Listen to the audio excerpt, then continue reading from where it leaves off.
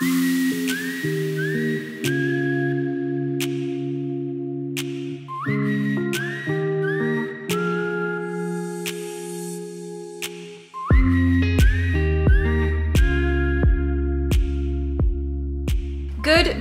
Today is Saturday and I'm having a girls DIY day. So we're going over to my friend Liz's studio. She's a photographer and she owns a photography studio. You can book it out and do your own shoots there if you want to. So I'll have a link to it in the description. If you're someone who's looking for a studio or you want to go and take some Instagram content, you can totally book that out. But today, uh, myself and three of my friends are going over to the studio and we're gonna have like a girls day. We're gonna go and pick up some snacks very, very soon because we want to do like a little charcuterie board and that sort of thing. Um, and then we're just gonna be working on some DIY projects. So I have to run around right now and grab a few things I need to take with me, but I'm super excited. I'm gonna turn all of this into like, I think Instagram or TikTok content, um, but I am very, very excited. So let's go.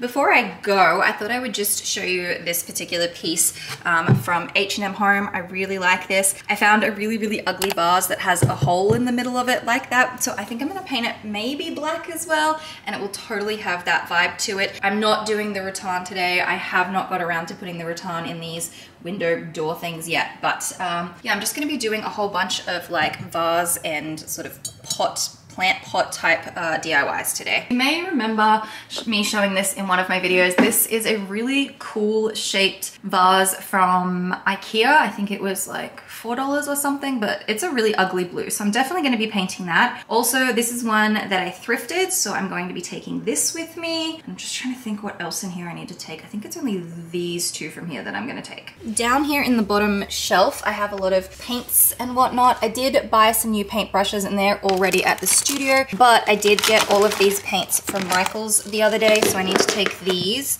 I've got this white one, a really, really nice like beige kind of one, and then I have these two brown ones. I figured I could mix these together and maybe make sort of like a terracotta looking color. I mean, this is pretty terracotta as it is. I don't think I'm going to take any of my paintbrushes from here because as I said, I bought some the other day. So that's probably all I need out of this cupboard. I think I have all of my supplies. I've got my paint, the trowel, I've got all of these vases I want to repaint. I just want to repaint this one basically the same color and just get rid of all of these like marks that are on it. I've also got this one. This was a vase from H&M Home. Not sure how I feel about it. I love the texture. I just, I don't know if I'm going to paint it. I I can't see myself having this color scheme in my home. So I'm gonna think about that one today, but I'll take it with me anyway, just in case. And then I'm gonna take these really bright yellow little pots that are available at Loblaws at the moment. Oh no, he was sitting in water, that's bad. That's bad. These little pots are from Loblaws and they're super cute.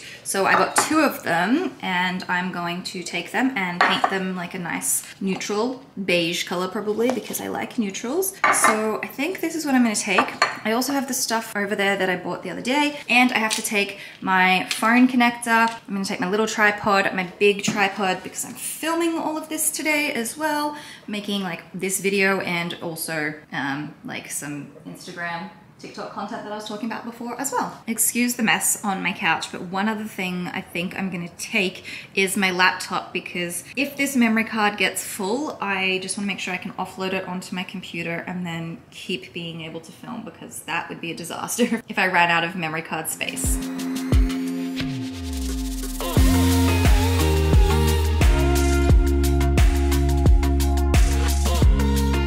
Okay, I've got everything, let's go. Welcome to the studio. So we have this beautiful setup here that's like a desk setup. Up here is like a little bedroom, just super cute. I love this little rattan table. You thrifted this, didn't you? The rattan table? Yeah. Oh my god, that's so cool. Very cool find. a little mirror, hello. And then back down here, there's like this section and then this amazing purple couch. This other mirror that's really fabulous. Um, and then there's this section over here. This is the chair that I have in my living room. Liz got it first, and then I was like, I have to get it too. and then there's this amazing little um, corner over here with like some cushions and and things. And we've just popped the plant here just to give it a little bit of light because I think it was kind of dying over in the back. But yeah, so this is the studio and then there's also a beautiful kitchen as well. And yeah, we're gonna get in and do some DIYs today. I've uh, made a pile of all of the stuff that I plan to paint today. There's quite a few things. These two are pots from Loblaws. I'm still unsure about this um, vase, which was from H&M. Ikea, thrifted, thrifted, dollar store, thrifted, dollar store. Unsure if I'm gonna paint this either because it's really nice. Uh, thrift, no, dollar store, this is the thrifted one that is really, really ugly, but I think it's gonna like look really good and really on trend with like the hole and everything. Like it'll look like H&M stuff. And then I also have this little teapot because I don't want to use it. I just wanted a little teapot piece of decor for my kitchen shelf. So I figured if I painted it a nice beige neutral color and just had it on display in my kitchen, it would be really, really cute. Plus it's tiny. Um, the other pots were like really big and I didn't think they would fit on my shelf. So that's what I've got to start with. I think I'm going to pop them all up and like take photos, like before photos, so that they'll be good before and after photos of everything. I'm going to use this little uh, pedestal thing here to, no wait, it's the pillar. Pedestal pillar?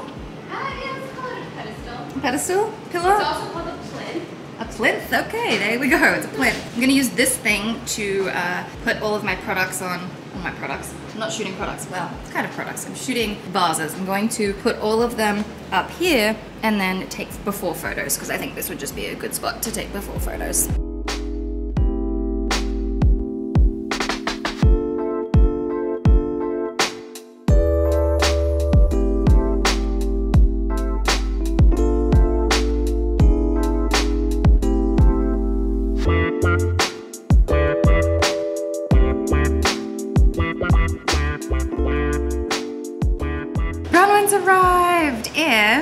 Just put together a little cheese and fruit platter and I should say Liz you did most of it to be honest. You cut up all the fruit and everything but it looks so good. And then also down here on the ground we have a tarp laid out and all of the supplies so we can uh, you know avoid getting mess on the floor.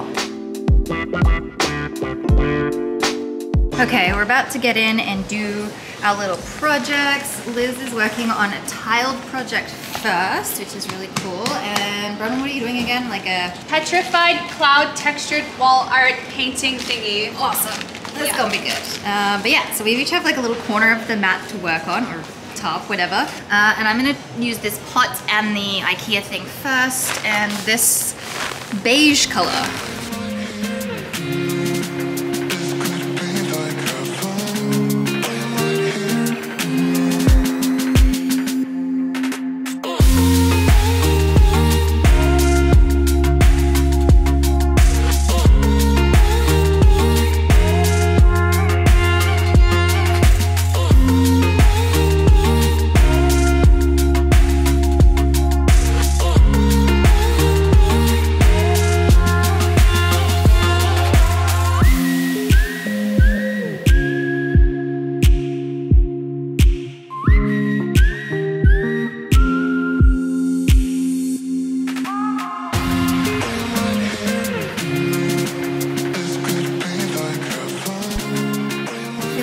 To a good start. So I did one coat on one of the little pots and then another coat on the IKEA vase.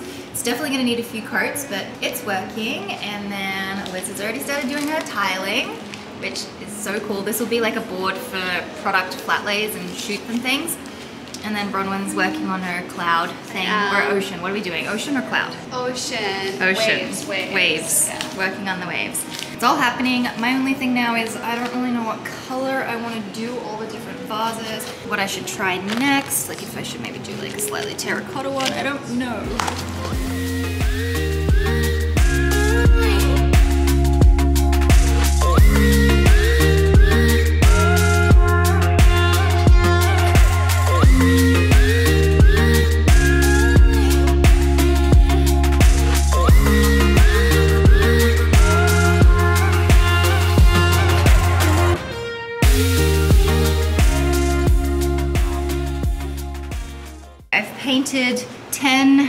Vases, teapot, jug, jars, whatever. I've done 10 and now I just have to do multiple coats of each of them. And this is Hannah's like little artwork. Bronwyn's is basically just drying and then uh, Liz is doing some of the jar painting as well and it's really nice terracotta color. And yeah, it's all coming along nicely.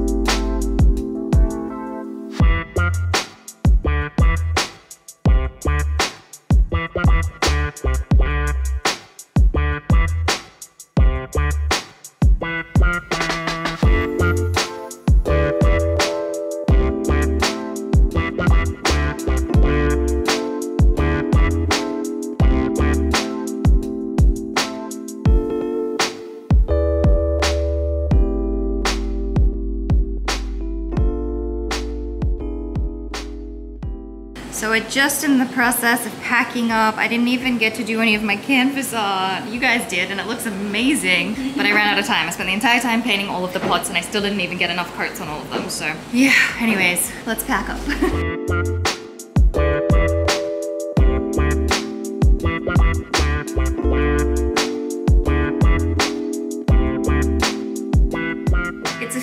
later and I actually picked up some more paint from Michael's today. So I'm going to do another coat on this one, the other black one, and a couple of the other ones. And then I'll have to show you how I've styled them up in my home. So when it comes to this DIY, uh, I don't measure anything. Like I have no idea what I'm doing. I just get a bit of paint.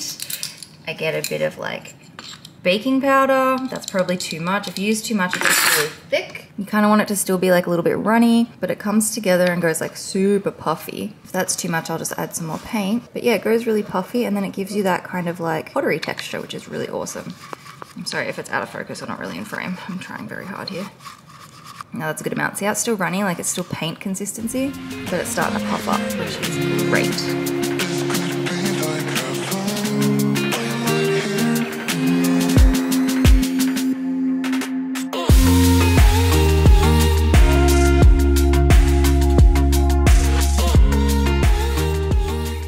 Happened to squeeze out the perfect amount of paint to do both of these. These are the only two that I did in black. This is a little jar from the dollar store and then this is a really ugly thrifted find that I think looks amazing in black. So one of the key techniques is to brush horizontally and then that way you get that kind of look of almost like spun pottery. So yeah, make sure you do horizontal brush, brush strokes, but oh my gosh, I think they look great. I don't think I'm gonna need to do a fourth coat. The reason I'm doing black again now is because the black that I got from the dollar store was terrible. It was just so see-through and every time I put on a new coat, it was taking the paint from below off and it just wasn't working. But one coat of the uh, the better ones from Michaels. So I got all the other ones of, of this brand from Michaels.